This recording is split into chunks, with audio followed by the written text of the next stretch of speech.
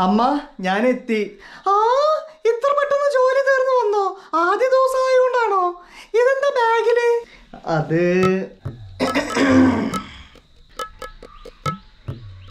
നമ്മുടെ മോനിതാ ജോലി കഴിഞ്ഞ് എത്തി. എങ്ങനെ ഉണ്ടായിരുന്നു ആദ്യ ദിവസം? നന്നായി ജോലി ചെയ്യാൻ സാധിച്ചോ? ആദ്യത്തെ ആദ്യത്തെ അല്ല അച്ഛാ? ചെറിയൊരു സ്റ്റാർട്ടിങ് ട്രബിൾ ഉണ്ടായിരുന്നു. ഉണ്ടാവും. ഇവിടെ വെറുതെ ഇരുന്ന് ഉരുള ഉണ്ണുമ്പോ ഒരു ട്രബിളും ഉണ്ടായിരുന്നില്ലല്ലോ. ജോലി ചെയ്യുമ്പോ അത്തരം ട്രബിളൊക്കെ സ്വാഭാവികമാണ് മോനെ. എന്താ മനുഷ്യത് പണി കഴിഞ്ഞ് ക്ഷീണിച്ചു വന്ന കൊച്ചിനോട് ഇങ്ങനെയാണോ സംസാരിക്കുന്നത്? ഇനിയിപ്പോ അവനും സമ്പാദിക്കാൻ തുടങ്ങല്ലേ?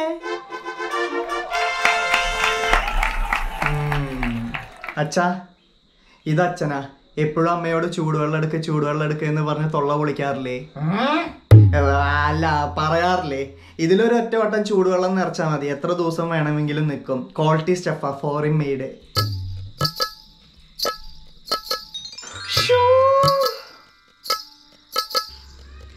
ഇത് അമ്മയ്ക്ക് ഇനി എങ്ങോട്ടെങ്കിലും തിരിയുമ്പോൾ പാൽ തിളച്ചു പോയി എന്നുള്ള പരാതി വേണ്ട.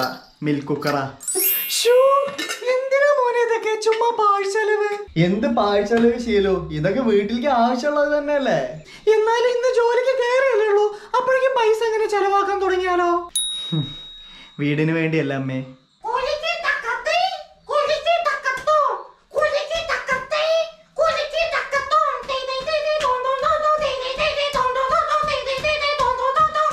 ഡേ. ബ്ലൂടൂത്ത് സ്പീക്കറാ.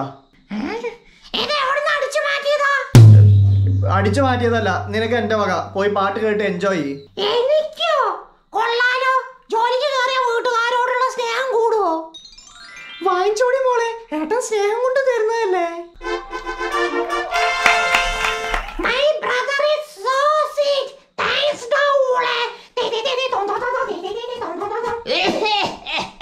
എല്ലാവർക്കും ഓരോന്ന് കൊടുത്തു മുത്തശ്ശന് മാത്രം ഒന്നുമില്ലടാ മോനെ ഉണ്ടല്ലോ ഇത് മുത്തശ്ശന് രാത്രി അടിക്കാൻ.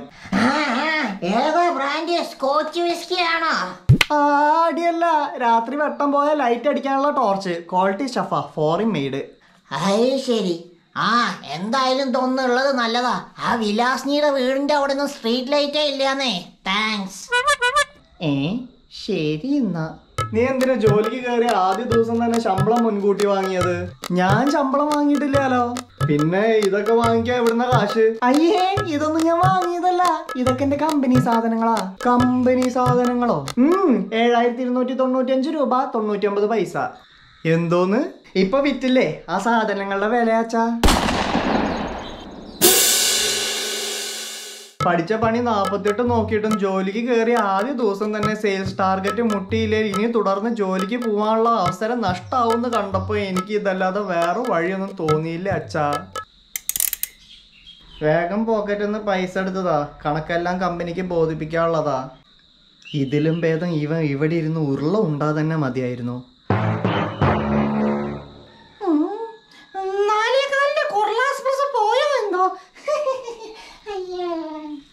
അച്ഛാ ഇത്രയൊക്കെ ആയ സ്ഥിതിക്ക് എഴുന്നൂറ്റഞ്ച് രൂപയുടെ ഒരു ചെറിയ ഡിന്നർ സെറ്റും കൂടെ എടുക്കട്ടെ.